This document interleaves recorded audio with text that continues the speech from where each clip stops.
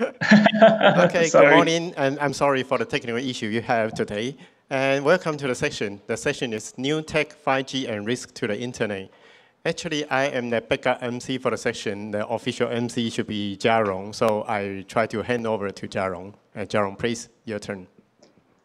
Thank you. Uh, thanks, everyone. My name is Jarong, and I'm based in Singapore. I work for ICANN. I'm the Vice President and Managing Director of the Asia Pacific office. I'm very happy to be here joining online. Uh, again, under normal circumstances, I would be seated next to Kenny, also wearing a suit.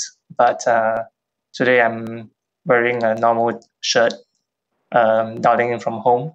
So I hope everyone can bear with me. Um, so we've submitted a session today uh, but before we talk about the problem statements and what we're hoping to address, um, let me introduce the speakers. So we have uh, uh, four speakers with us, uh, and uh, I'm co-moderating this session together with Kenny. Uh, I, we've had various experiences of having speakers dial in remotely uh, with participants in the conference room. And it tends to be that it's harder to engage with you without being in person. So we're hoping Kenny can help us with that, you know. So if uh, people are uh, having questions or you want to raise a question, feel free to uh, raise your hand and, and let Kenny know so that we can engage you uh, and address any questions or discussion points you might have. Now, introducing the speakers. So Kenny, everybody knows, is our co-moderator today. And also we have Champika Wijayatunga, who also works for ICANN. He's our uh, technical regional engagement manager, uh, working for the office of the CTO. And also we have our next speaker is Joyce. Um, Joyce is APNIC's senior advisor for strategic engagement. Uh, earlier this year, she was still working with us in ICANN, uh, but she's since moved to APNIC. Uh, and the third speaker is uh, Bill Ko. He's the Director of Systems Design Division uh, Technology Group of Taiwan Mobile. So we look forward to having um, his perspectives from uh, operator perspective uh, from the industry. And also joining us from the Pacific Islands is uh, Dulcie Baniela, who is the telecommunications regulatory advisor to the government of Palau. Uh, so she will help to provide some perspectives from the government side. Now, very quickly touching on the topic for today, um, we tend to talk quite a lot about the internet at risk of being fragmenting or at risk of being becoming broken. Um, it comes from various conversations. Um, some of them are policy or legislative. Some of them are from geopolitics. Uh, and it ranges from various things like, you know, internet blocking, um, the ability to access uh, the internet even. So one other aspect of this more recent discussions, um, and it's not exactly new, but what about new technologies like 5G, for example? Would it have an impact on the internet being fragmented? So today we hope to explore uh, firstly on this area, and we will broaden the conversation back to um, the risk of the internet fragmenting from various perspectives. So this is where we will invite the panelists to share with us um, then we will come back and have a broader discussion with everyone on the floor uh, in the conference room uh, on this question. Is our internet at risk and, and why is it important for us to maintain a single, single and global internet? So the broader agenda really is um, we will first have Champika just talk about how the internet works to level set for us to understand um, what we think about when it comes to internet fragmentation. Then from there, we will then have the panel discussion and discussion with everybody in the room. If everybody is happy with that, then let's move to having Champika uh, talk us through very quickly uh, about how the internet works so that we can all be on the same page when we start the discussion. Champika, over to you, please. Thank you, Jarong. Um, good morning, all, and uh, it's it's a pleasure to uh, be here at the uh, event, uh, at least in a virtual form.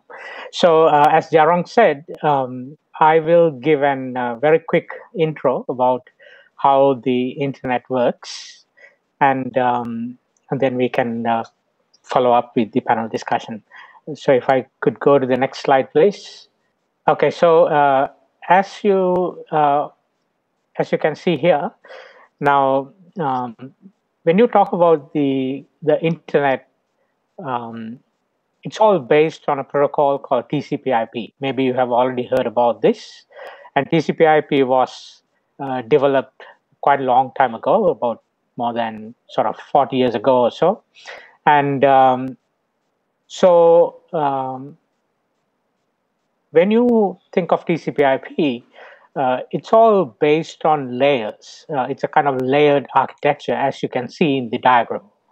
And um, uh, so you can see that there are four layers when you consider TCP/IP. Uh, the topmost layer is basically the application layer. This is where the users would interact. So when you even speak of internet nowadays, as you all know, it is a, a big network and it is a single uh, net one big network, but we have a lot of applications uh, running. Uh, so the users would interact uh, between you know these applications and send the data from one place uh, to another place, so or one host to another host, or one device to another device. So the topmost layer is basically application layer. So this is where even, uh, for example, you can also see some applications like uh, even if you think of a browser, we use uh, protocols like HTTPS and so on. Uh, even DNS, um, the domain name system, also is, is, is an application which is actually in the application layer itself, in the topmost layer. Now, the uh, second layer is, is actually the transport layer. Um, so these, as you all know, the applications would, you know, get the uh, input, the data uh, as as um, as bits, and and then this needs to be uh, packaged to send to another place or another host. So in the transport layer, we do all that uh, uh, packaging, uh, and and so there are some protocols involved here. So you can see in the slide, uh, I have put a couple of protocols that have been used in the internet, TCP and UDP. TCP is Transmission Control Protocol, and UDP is Universal Datagram Protocol. protocol. Um, UDP is actually more of a connection-less uh, protocol, whereas TCP is what we call a connection-oriented protocols. Because when we use these uh, protocols, for example, um, some protocols need more reliability, things like error corrections and so on. So TCP has uh, has got uh, more reliability factor there, uh, with things like error correction because when it comes to TCP, um, it, it, it, establishes a connection based on certain handshakes. Um, and that is why we call it as a connection uh, oriented protocol. Uh, whereas UDP uh, doesn't do that, uh, it, it actually just send the uh, data. you may have some um, packet losses, but still it is quick and um, it is much more efficient. Now, when you think of the uh, next level, the third layer, so we have, you know, we have done all the packaging and so on. Next step is is basically to send these packets from one place to another place. So this is where we have to provide uh, directions to those packets, where these packets should be going, uh, where it should be destined, and so on. So this is where the IP addressing would come in. Um, so we have to give some directions where the packet should go. So these packets would contain uh, things called headers, and, and the, in these packet headers, uh, you will have a source IP address and a destination IP address. And actually, even the routing function happens um, uh, in this layer as well, because uh, uh, the routers would inspect these packet headers and then forward it uh, to another router basically until the destination is reached. So network layer, uh, we that's where we do simply you know things like uh, address IP addressing basically. Um, and then uh, the bottommost layer is actually the physical layer. Uh, so to do all that, so once once give the, we give the directions and so on to the packets, we have to have some physical networks to send these packets from one place to another place. So this is where you know even we have been using various uh, access technologies in this layer uh, historically uh, and, and uh, over the time.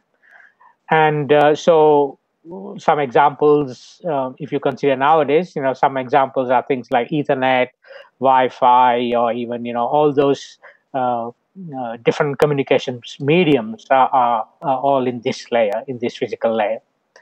So this TCP/IP stack has to be uh, enabled in, oh, basically, you know, it should be available in in in different devices so that uh, using this stack uh, we can communicate between those devices. So this is basically how uh, you know the uh, data communication happens when it considers today's internet. I mean, it has been the same over the last uh, many years, but um, of course, you know there have been various uh, improvements and advancements to the uh, uh, to these protocols and and, and so on. and and then the security factor and so on. There have been a lot of enhancements to these, but you know the principally, uh, TCP/IP has been used uh, uh, for the data communications uh, in the internet. So if I go to the next slide, please. Now, um, so earlier I was going through TCP/IP layer, uh, different layers. In all these different layers, we have different uh, identifiers. because you know we, we have to have identifiers in in in these layers. So if you consider the topmost layer, the application layer, the identifier what we use is basically uh, the DNS. So as you may know, uh, uh, so uh, I was just saying in this slide, um, now earlier we spoke about different layers in TCP IP. So in, in these different layers, we have uh, things called identifiers. And uh, so when you consider the application layer, in the application layer, we, we use this uh, identifier uh, called domain names. And, and as you all know, um, you're quite familiar with uh, domain names. We have a proper structured naming system, uh, which is shown in this diagram. There's a proper hierarchy.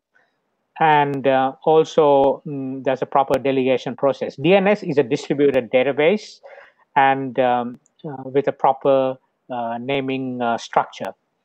Now, uh, that's in the application layer. And also, actually, uh, when it comes to the transport layer, we also have things like port numbers and so on. But I also want to focus more on to the um, network layer.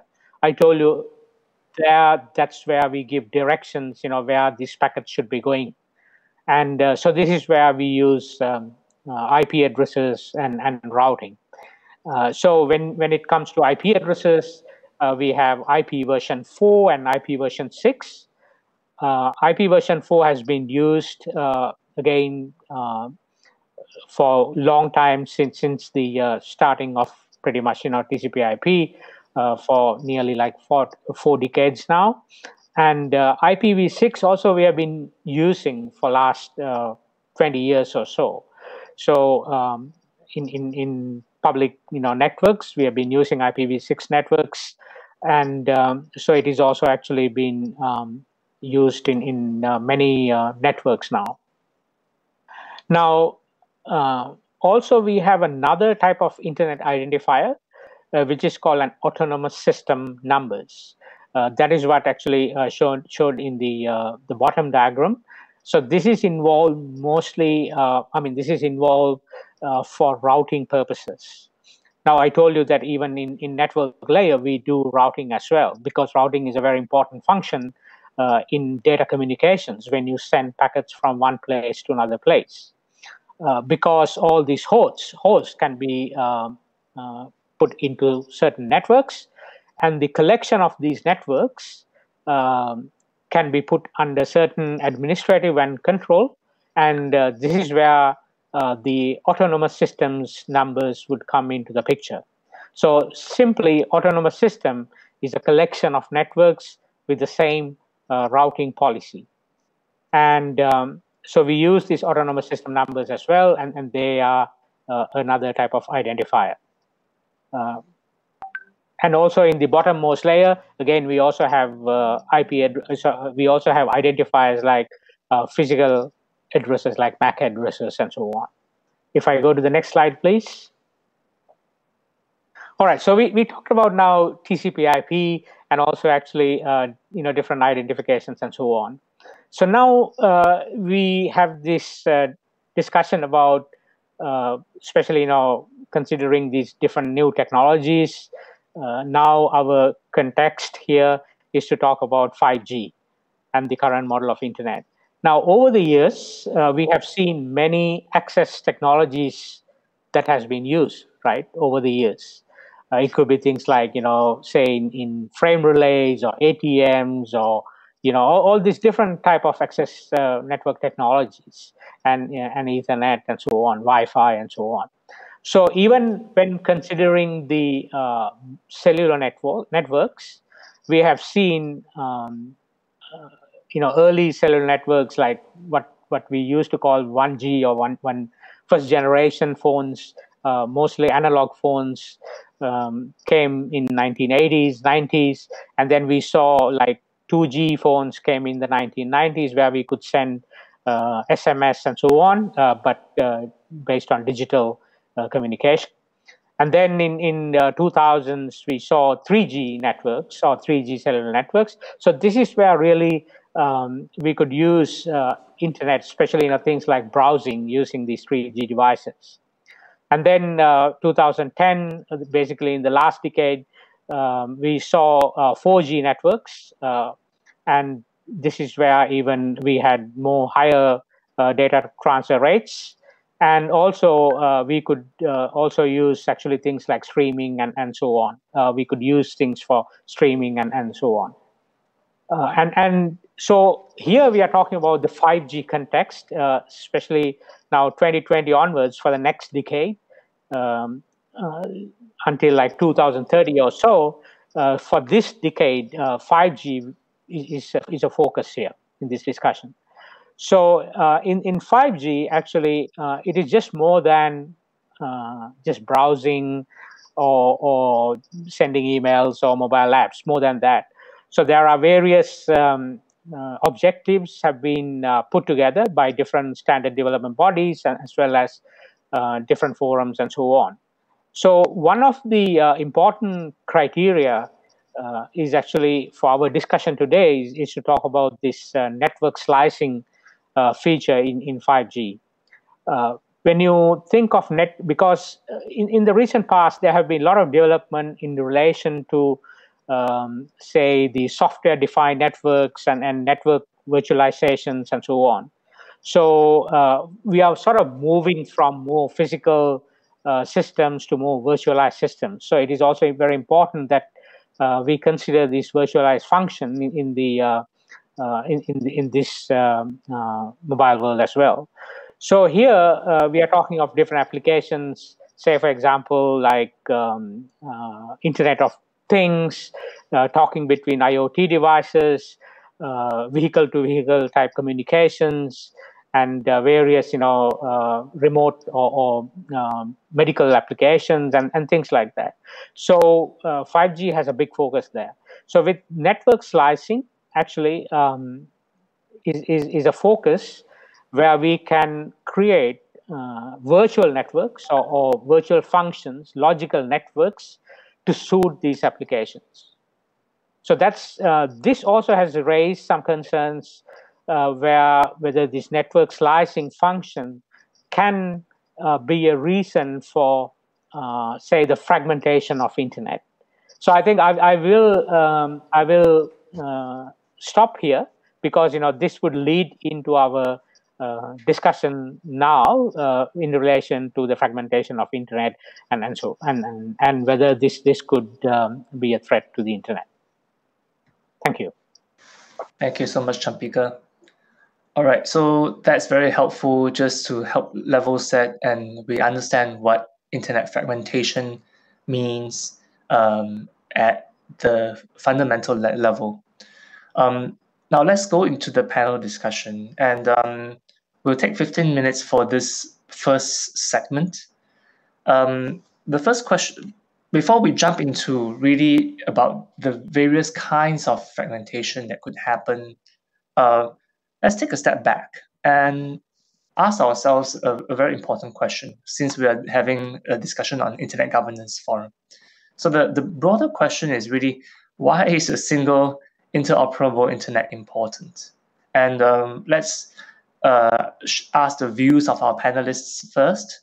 Then we can also invite some views from the participants in the audience, and I will trouble Kenny to help uh, with with that as well. But let's share. Let's have our panelists share their views uh, on this. So perhaps we can go in this order. Champika, you, you've already went, so you can come back last. Uh, let's go to Joyce, please. Uh, from your perspective and from the numbering community, why is a single interoperable internet important? Hi, can you hear me?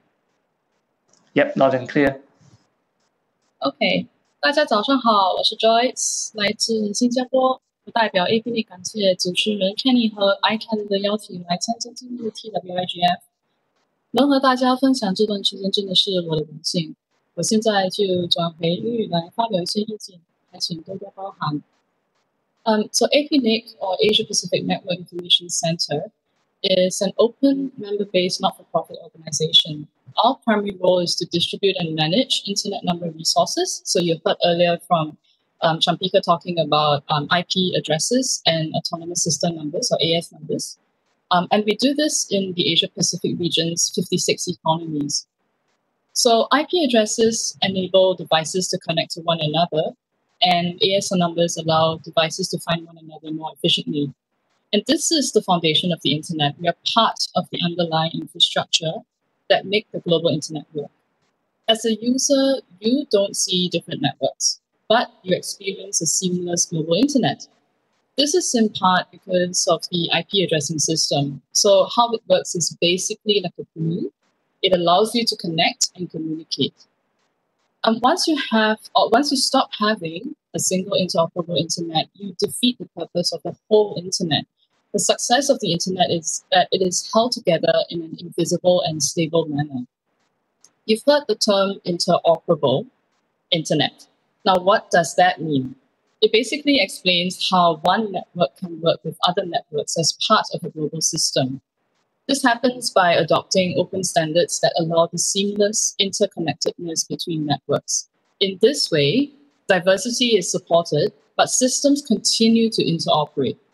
Individual network operators are free to do whatever they want within their own network, but the internet as a whole continues to function because the focus is on interoperation that is defined within open standards. So, from a technical point of view, the network was designed in such a way to be out of any one person or organization's control. This decentralized architecture is one fundamental reason for the internet's success and growth. Together with a packet switching approach, we now have the most efficient and successful way to transmit data over a network of networks.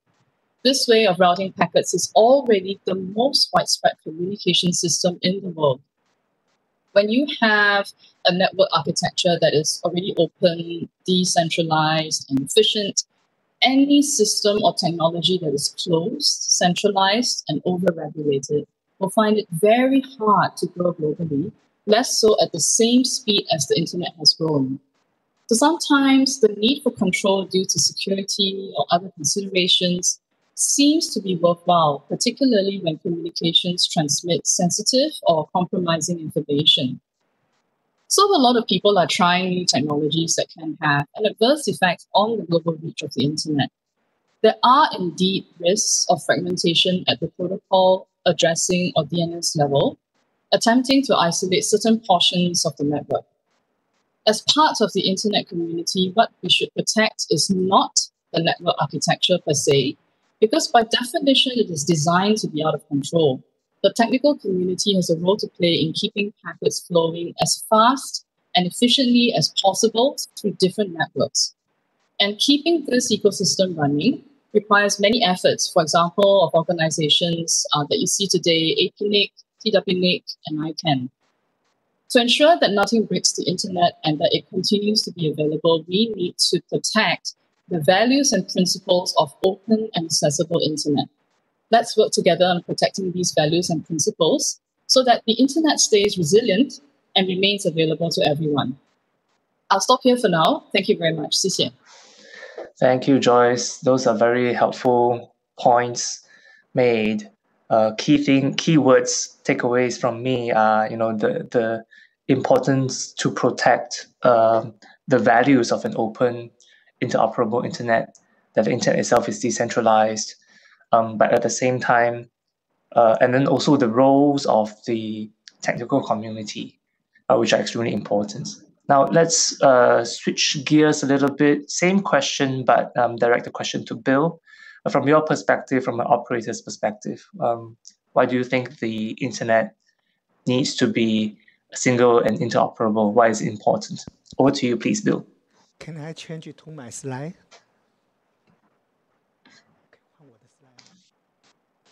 Uh, uh, because I, I prepared some slides, so can I use the slide? Okay. Yes, please. Uh, trouble the technical team on the in the conference room. Yes. Okay. The first slide I want to show that is uh, we have only one uh, one word, and uh, you can see see that all the world we have a global trade trading map like this one, and uh, you can find the same with the subsea cable.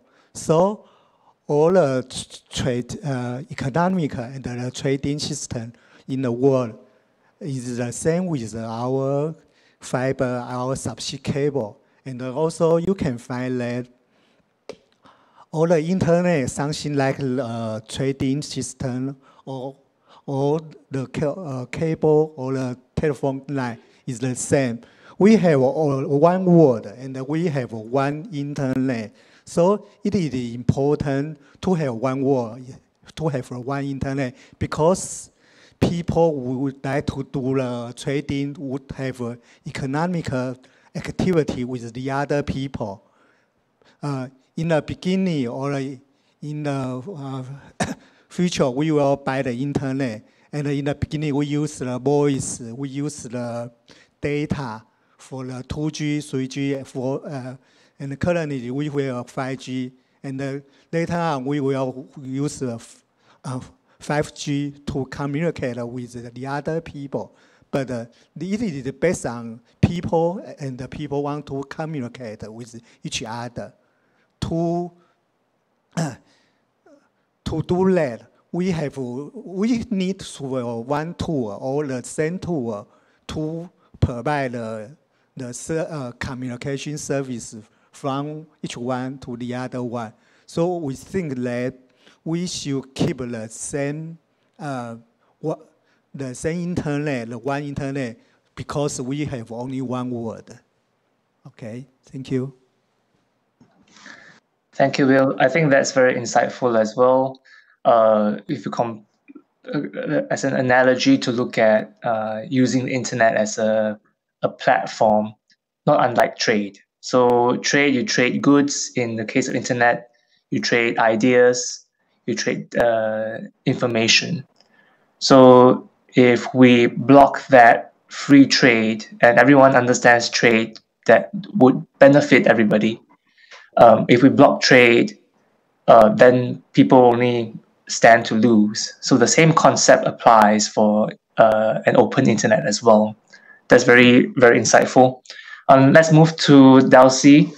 Uh, can you share your views from a government perspective? Um, how important is it for us to maintain a single and global interoperable internet? Delcy, over to you. Thank you, and thank you very much for giving me this opportunity once more to share with you views from the government. Um, the national government priorities, as always, agenda and focus is always built on the Sustainable Development Goals. We, we heard from many specific presentations, including at the UN Global Internet Forum 2020, that Internet plays a vital role in achieving sustainable development goals. And at the same time, we heard from the key international stakeholders, including the International Telecommunications Union, and at the national level, the importance of collaboration to address digital divide and other challenges faced that contributed to digital divide. Some maturity of the national ICT related policy directions and the regulatory framework needs to be revised. Giving an example, the Republic of Palau's legislation framework are centered around mobile phone services and the physical and network infrastructure. So in reality, citizens are currently enjoying benefits of over-the-top services, IoT, multi multimedia services at their own risks. At the same time, recognizing the many benefits of 5G and its disadvantages, it is to be introduced if it is to be introduced in respective island nations. So in the last 10 years, one of the major challenges that the government is facing and, and is still today is limited technical expertise and the development of policy and regulatory framework that will cater for such important technical aspects of internet development. If at the national level there is a gap existed for leaders and users to understand, transform, and accept technology evolution.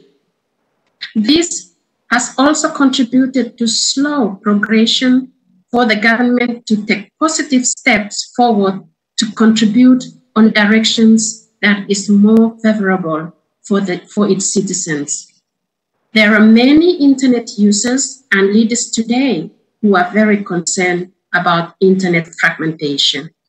If there are policies and regulations in place that mandate us to roll out access to internet services and is where our focus is, and at the same time, trying to catch up with regulatory framework to cater for internet activities, including data privacy, net neutrality, interoperability, cybersecurity, and more others, then comes the impact of internet fragmentation. There is definitely a big issue for many of us leaders to work on. Let's go further on the main concerns in our view, views that are stimulators of internet fragmentation. For example, cost of access to the global internet is already a problem. Comparing a small island state like the Republic of Palau with international business centers in New York or London. On the other hand, for example, Vanuatu government is now working towards its e-government service integration. So if network slicing will positively impact the internet, the e-government service integration, then maybe, maybe the government will support the rollout of 5G. Having discussed the earlier views, the key issue still remains today is to connect the unserved and the underserved population to internet services. For a simple and a digital illiterate user of internet, experiencing technical fragmentation will lead to more and more disconnected experiences. Then comes another challenge that is contributing to digital divide, cost building internet infrastructure across many islands that are separated by waters, for example. Let's also look at the ability to use content services, for example, Netflix and more others. There might be copyright restrictions at the national operations. that could limit the ability to have access to the content services unless we choose to perform illegal access, which we want to make sure users of internet are not heading in that direction. So access to e-commerce building block is another concern, such as e-payment systems and at the same time, physical delivery of payments. Again, there's already a challenge that is impacting and could impact the potential of local e-commerce businesses. Not to mention the assurance of the rights of the citizens in terms, in terms of protection of their privacy, and also law enforcement, the ability for local police force, for example, to obtain e-evidence from overseas, I would expect that would be practical, practical impossible. In fact, some arguments are only potentially problematic. Others may have identified are actually problematic. It would be foolish for any internet user or leader in the world to think of internet, to think the internet fragmentation problems will just go away, as some leaders have thought would happen with COVID-19. I think going forward in an inclusive way, it would be appropriate to identify the highest level of problematic examples of current or highly likely potential fragment fragmentation of the internet at both the technical and content and transaction layers, a number that is workable, then weigh their respective significance and necessity of taking steps to address them, both at the national and international level, with a direction and link through UN SDGs and the national ICT related policy mandates. From there, maybe the actual steps to overcome the problem or issue needs to be determined, shared on a worldwide level to get common agreement and action plan put in place. So the plan, the action must, the action plan must have clear defined outcomes required and a time frame for them to be met by. In this way, implementers would have a guide to follow. Thank you. Thank you, Delcy. Um, quite a lot of uh, very insightful points that you've made. And um, in fact, some of the points you made directly links to the next question I have for everybody. Um, but before we go there, um, maybe we can take a step back first. And uh, Kenny, um, are there any participants in the room with any questions or any comments currently? regarding the importance of a, a single internet. Okay, uh, I haven't asked.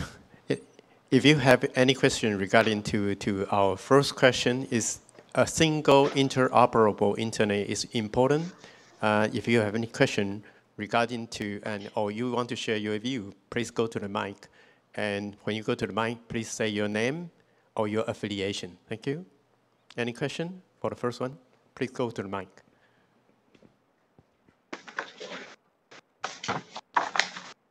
Uh, thank you for the panelists' insightful uh, presentations.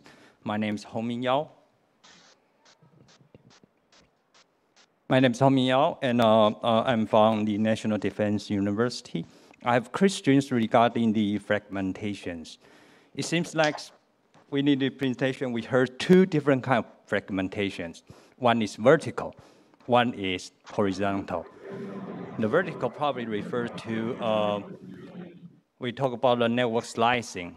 So that give me an impression like uh, before we used to have the uh, ATM network, you uh, have different kind of requirement, quality of service for different kind of transmission. So you want to slide your network. That's what I mean by saying vertical. And uh, horizontal would be like the last speaker talked about how geopolitical factor have been um, uh, immediate force to break the internet into multiple uh, segments. So my question would be like uh, from panelist view, do you believe that uh, both of them are bad for the internet or maybe one is more destructive and the other is not? That's my question. Thank you. Okay, thank you. Jiarong, have you heard the question clear? Yes, loud and clear, and very good question. Uh, I think it's also a good segue to the next portion, but let's have uh, our panelists.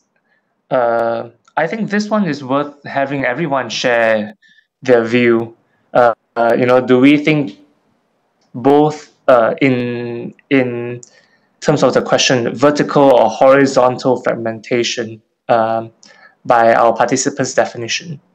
Are they both bad or um, how would you see it differently? So perhaps we can go uh, along the list of um, each speaker, just sharing very quickly what your views are uh, for a couple of minutes. Uh, can we have Champika first? Uh, yeah, in, in fact, actually, um, uh, it, it, it depends. For example, that um, say when it, when you when you're speaking of fragmentation, say uh, if um, if it depends on whether we are going to use public identifiers or kind of private identifiers as well. And um, when when you are talking, say, uh, I assume based on the definition, what you mentioned, uh, I could even consider, say, uh, things like virtu- virtu- uh, vertical uh, fragmentation is, is, you know, within within an enterprise, you you would still prefer to have some some say your own identifiers, or it could be even private identifiers. Uh, in fact, that still exists. for example, there are uh, say certain uh, IoT uh, deployments, you know, you know, there are very specific protocols uh, which talk, you know, communicate based on uh, proprietary protocols. So it can still exist without harming the uh, one single global internet what we have.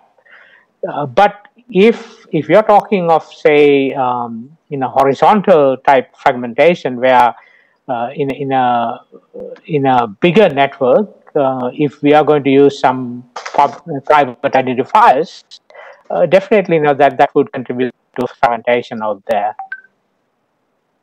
Thank you, Champika. I think that's very helpful. Um, let's go to Joyce.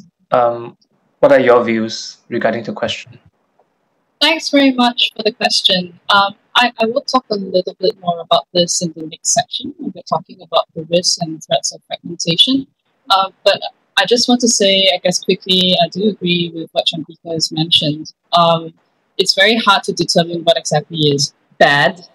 Uh, I think it's definitely not ideal if there's going to be fragmentation at the technical layer. I think vertically may not be as problematic if it's still interoperable, it can coexist um, and complement the current system.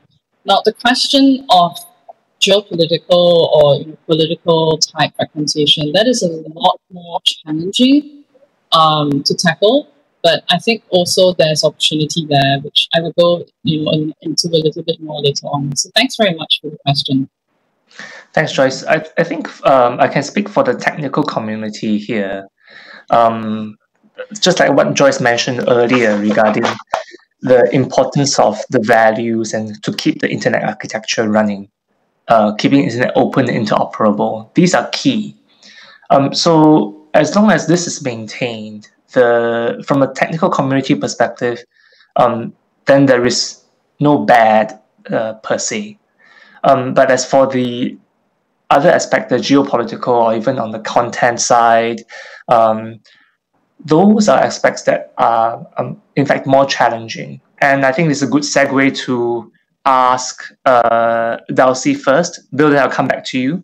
But Dulcie, from your perspective, you know, um, what, what's your view on this one? Thank you. Um, I think it depends very much on the definition of vertical and horizontal. So, get horizontal as it's describing the situation of having a mass connection across borders, then I think it's very important to maintain and consider a single internet interoperability. This is because, as I have indicated earlier, there's a lot of work done now at the national level trying to connect the unconnected. So if we are to start with a network slicing, then that's another disturbance in the development. Thank you. Thank you, Dulcie. And very quickly, let's go to Bill from from operator's perspective. Um, what are your views? Thank you. Um, in uh, operator point of view, because we are uh, internet service operator and also the mobile service operator. So for the operator point of view, we would like to do the vertical application from the improving the network uh, service, improving the mo user mobility, Im improving the performance of enterprise.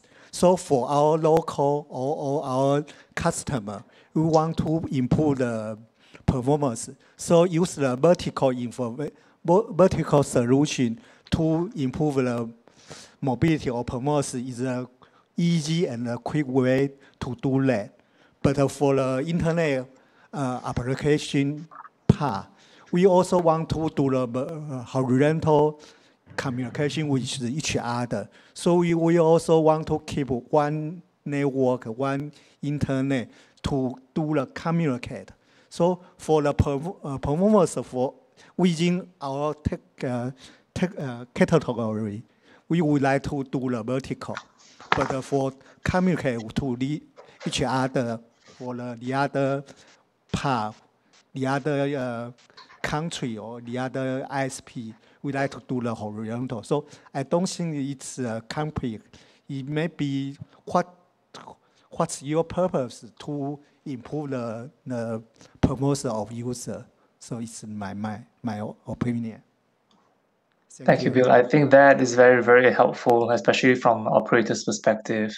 Um, I'm mindful of time, so perhaps we can move on to the next segment because it ties in with the participants' question so well. So I think we can really zoom into the next section. Um, ask and uh, the question for the panelists.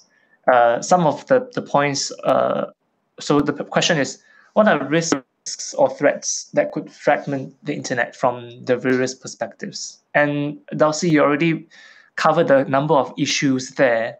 So perhaps um, we can come back to you on this later. Uh, so the question again is, what are risks or threats that could fragment the internet?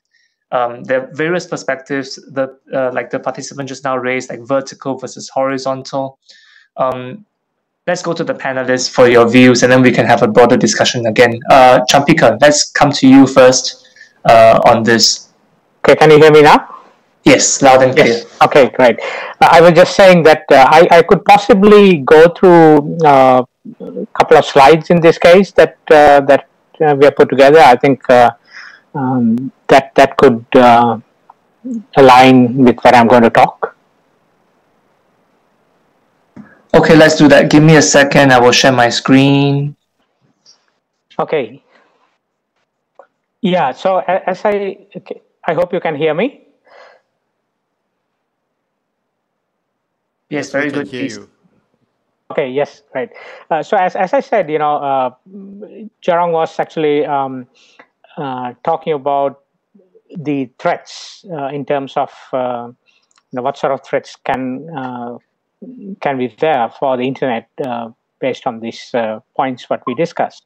So fragmentation is something uh, something that uh, that is one of the uh, biggest concern that um, many parties have, um, especially with this uh, network slicing aspect that I, I talked to you earlier. because in, in 5G, specifically in 5G, you can have these virtual or logical uh, slices, so what we call network slices. Now, you have to go um, one step back and also actually consider okay, why in the first place uh, 5G, uh, what are the sort of design principles or, or objectives uh, in, in 5G? It's not, it's, it is not just uh, the uh, usual internet, what, what we uh, what we actually uh, do now, for example, things like browsing and so on. So, considering this aspect, one expectation is quite high uh, bandwidth, right? Um, this could be even going up to something like uh, 20 uh, gigabits per second, you know, things like that. So, it's very high sort of bandwidth that we are expecting here. And then uh, also, we, we talk about the um, the um, the uh, number of nodes or, or, devices. This is specifically targeted at things like uh, IoT, and uh, also, you know, uh, especially you know if if there are um, many devices or, or uh, if there are things like even if there are devices in, in vehicles, say for example, if vehicle to vehicle communication is involved, you know these are again various applications that you would see. And also, there are other applications that you would also expect things like uh, very low uh, latency requirement. In fact, actually, uh, uh I would say even uh, ultra low uh, latency requirements, especially for things like remote, um, say, operations in, in the medical, or even if there are some self-driving type of vehicles, you need a lot of time-sensitive applications in this case. So these are some of the reasons. So this is also why I actually the uh, network slicing features would come into the picture or these logical or virtual networks would come into the picture. Say, for example, um, you can give one slice for for an enterprise who would operate devices, or you could give one slice for uh, a certain application that uh, would need high bandwidth for say a streaming type thing.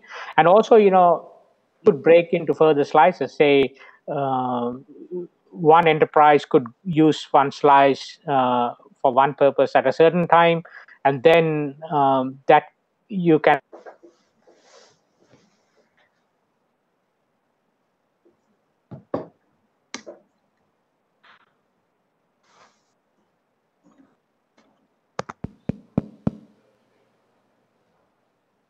I lost the sound from Champika. Is it just me? I lost the sound as well. Okay. Yeah, I, I think we lost you here too, Champika.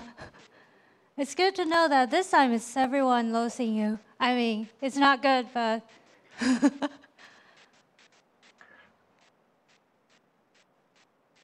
okay, we can't hear Champika.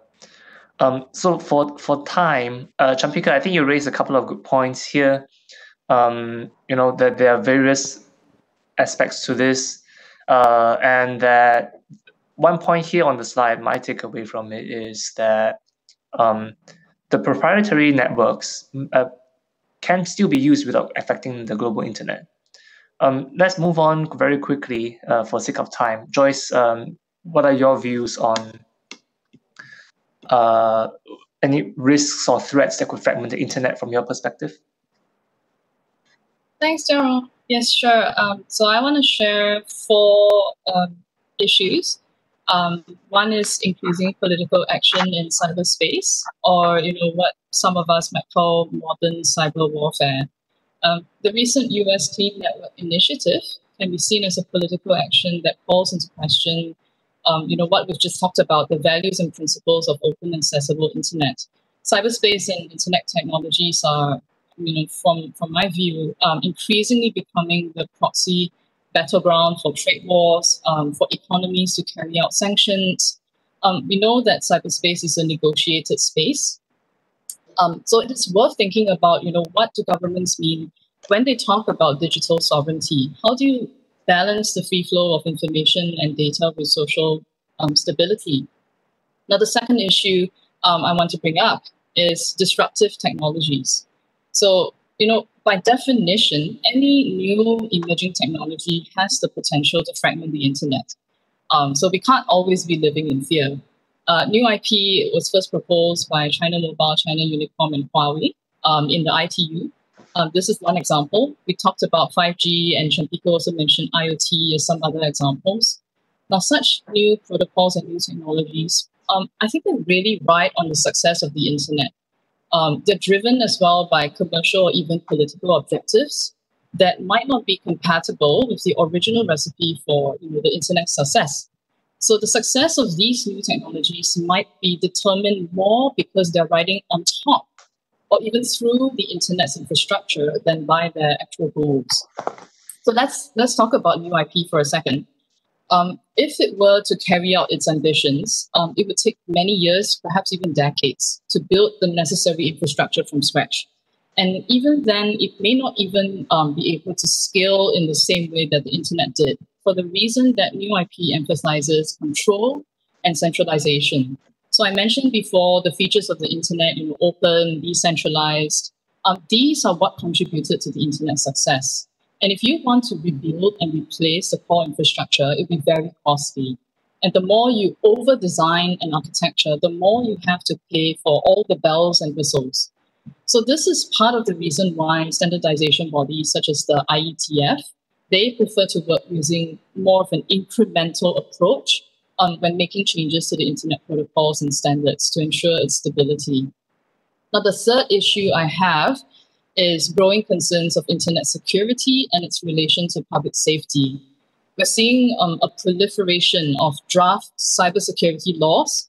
There's a trend of governments widening their scope and seeking greater powers to directly intervene in cyber threats. So sometimes, uh, you know, you're used to this could be in the form of building defensive walls in the name of national security or justifying control over cross-border content. One recent example that I have, um, very, very recent one, is the Australian Home Affairs, who proposed draft laws that give the government powers to intervene in what they call exceptional circumstances when there is a threatening attack scenario. And, and these powers are also very broad. So this brings me to my last and final point. In sum, what we're looking at is really the erosion of trust. The erosion of trust in the internet and its ability to function continues to be a threat the lack of understanding or even misunderstanding of how the internet works and how the internet ecosystem works together amplifies this mistrust. There's no easy solution for this, but I guess for a start, you know, what we're doing today um, and what we're seeing more is more dialogue is needed between all the various stakeholders to find the right balance and also to make sure that any action taken is open and transparent. Thanks very much. Very good points, Joyce. Uh, I think a lot of food for thought for discussion, which I'll come back to you in a bit.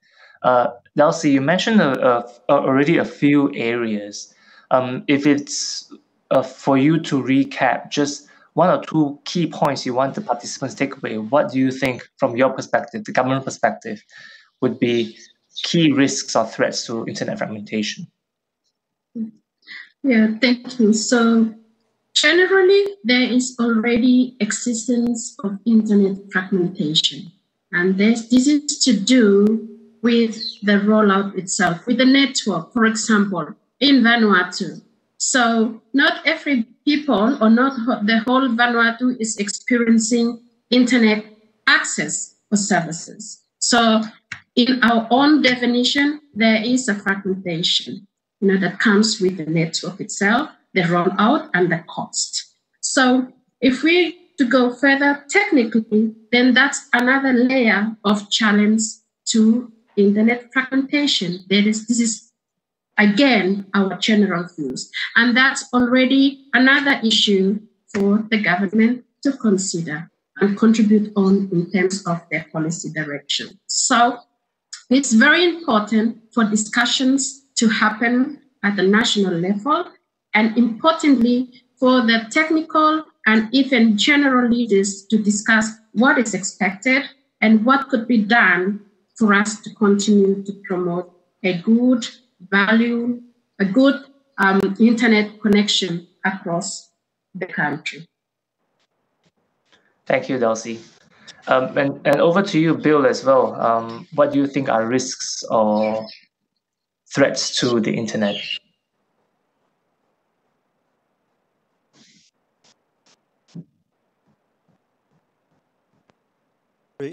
I want to show my slide, so please go to my slide.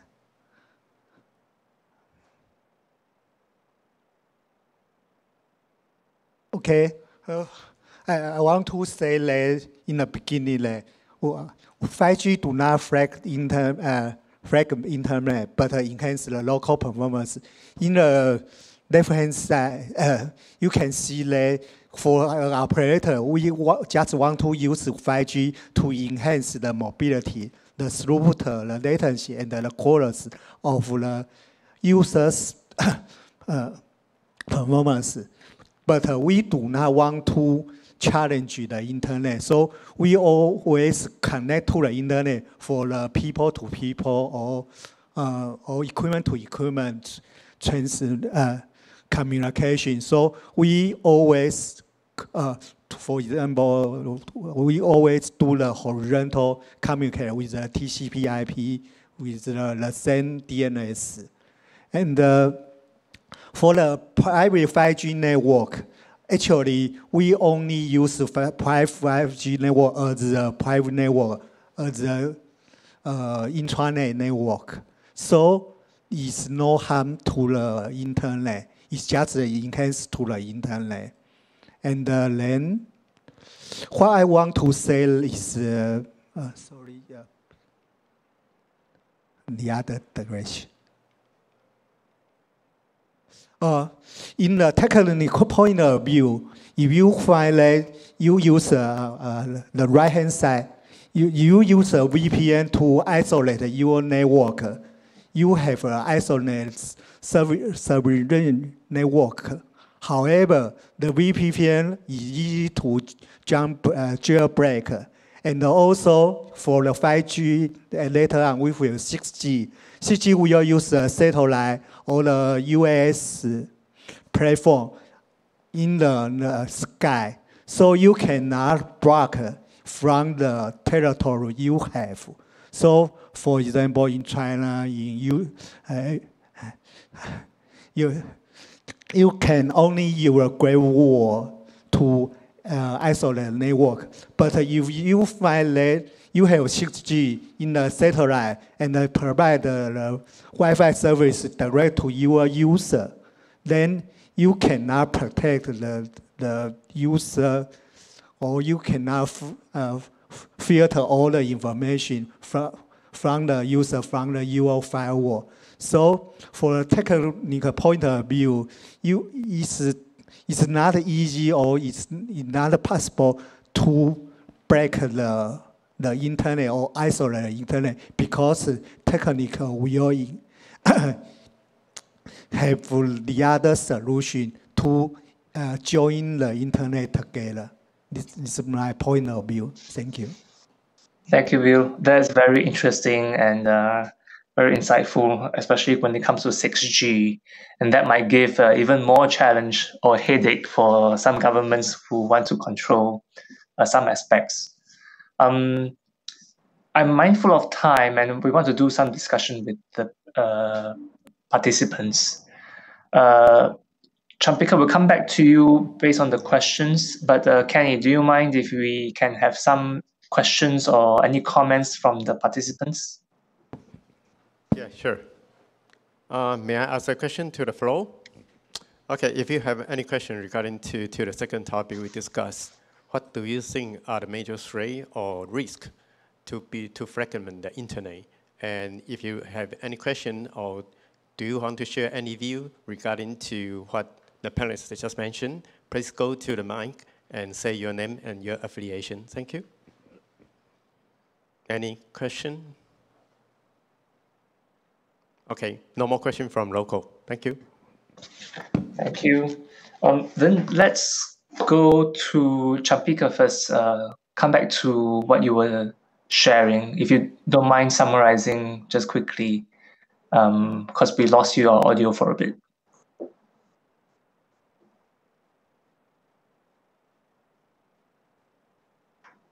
We can't hear you, Champika.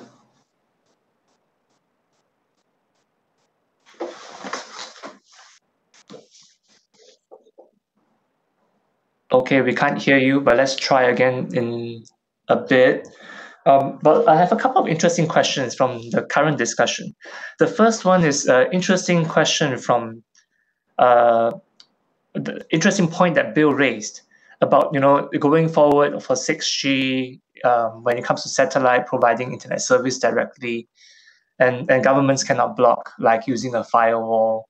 I'm I'm curious um, whether there's anyone participants in the room who might offer a government perspective uh, and also for Dulcie, from your perspective, um, when it comes to protecting citizens, um, do you think this would create uh, even a stronger perception by governments to have to protect their citizens and and if they're not able to do that via the, the normal route like say firewall or DNS blocking um, would that what what kind of challenge do you think is going through uh, the government's perspective? I'm just curious, uh, Dulcie, do you have any thoughts on this? And also from participants in, on in in the room.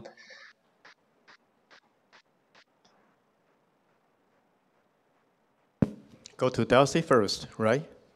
Yeah, Dulcie first, please. Dulcie, any thoughts on this portion? Long-term 6G might have a challenge for governments when it comes to protecting citizens? Yeah, I think for small island states, the going 5G, 6G is is uh, is is a dream. Uh, I think it's going to take a lot of time to get there, given the realities we are facing today that we're still rolling out um, and trying to get connect and connect the population with all forms of um, ICT connectivity and not just internet. Thank you. Got it. So, well, I I would agree uh, in the sense that for governments, it is taking it one step at a time. Uh, any any thoughts from the room? You know, any anyone from from the room we willing to share your soul? And we have five minutes left, and especially from the public sector, who are willing to share your view from regulator point of view or from, from policy point of view? Regarding to, to 6G, right? okay. Okay, no question, no participant. Okay. Okay. Then let's, let me ask another question or rather discussion point, which I felt was also very interesting. Um, I think it's tied, it ties to um, the portion about mistrust, um, and, and, and the need for dialogue. Uh, I think the starting point where, where, we all talk about the internet being important, um, a single global internet is important. I think everyone starts from this same perspective. But then things start to break down.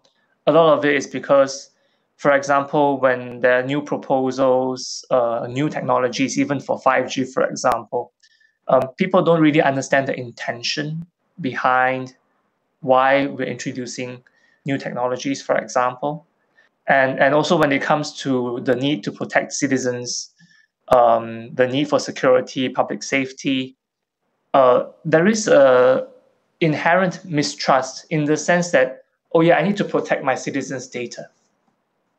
Uh, so so there is a mistrust in the sense that oh maybe the operators or the the service providers they are going to do something malicious with my citizens data so there is that mistrust which then re- potentially results in um, that the, the thinking that there will be fragmentation um, and i'm curious from uh, other uh, the panelists uh, Joyce mentioned the need for dialogue. Uh, that's very important.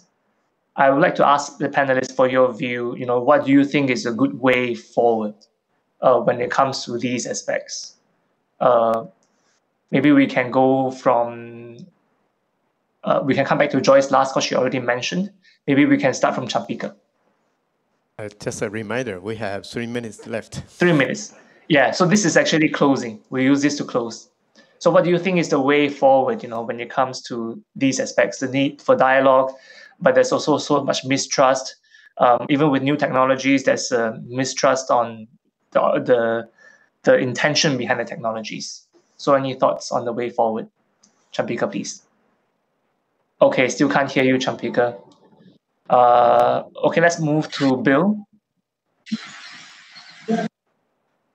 Uh, I think always uh, we, we always dialogue to to public uh, to the government yeah, to find a rule or to find a policy to benefit our ne- network and uh, I think the transparency to government to the public and to find the way to uh, surveillance the people due to the public uh, safety is needed to uh, for my po- point of view. Thank you. That's insightful, Bill. Uh, let's go to Delcy. Okay. If there is a technical way to address this, that will be really good. Otherwise, we'll still have to continue to work together and to trust each other. And also remember at the back of our mind that internet is there to provide an avenue for us to dialogue and to discuss and make development. Thank you. Thank you. Let's come back to Joyce. Uh, so thanks very much. Um, I think I can. What I can do is maybe do a plugin for Internet Society. So ISOC, uh, they recently came up with this thing called the Internet Way of Networking, um, and they kind of built or developed this toolkit, which is you know the Internet Impact Assessment Toolkit, which basically is to help guide policymakers. You know, when you are analyzing a law or making some kind of policy decision, what might be the impact to the internet? And I think that's something that could be useful for people as a starting point, you know, as you're going through the process. Um, and when you are trying to think about what are the questions that you need to ask um, in terms of the consequences and the impact of certain um, laws, legislations, or policies, this is possibly um, something that can be very helpful. Thanks, Joyce. I'm not sure whether we can still hear Champika. Let's try for a few seconds. Time is up. Okay, we can't. Then let's close the session. I think this is very helpful and very insightful. Um, the when it comes to talking about internet fragmentation, I think we all agree that internet is important to keep it a single, global, interoperable. The principles behind it are important. We, but at the same time, we are challenged in the sense of uh, the the growing fears of uh, mistrust uh, the and and it's important for us to dialogue across different stakeholders uh, to understand the objectives or intentions behind, say, new technologies. Just like Bill mentioned, um, from operator's perspective, is to improve a service. Uh, different stakeholders uh, use different tools to uh, want to achieve different things, but we all agree on an open, free internet is important. Um, so that's my takeaway. And to address the issue of uh, eroding trust, we need to continue to dialogue. And I want to congratulate uh, TWIGF for establishing this platform that allows us to continue to dialogue with one another. So with that, we'll close. Thank you very much. Okay, thank you very much. And thank you for being here with us. Okay, it's shut down. Okay, thank you for being here with us. Thank you very much. Thank you. And thank, thank you, speakers, panelists. Thank you. Thank you.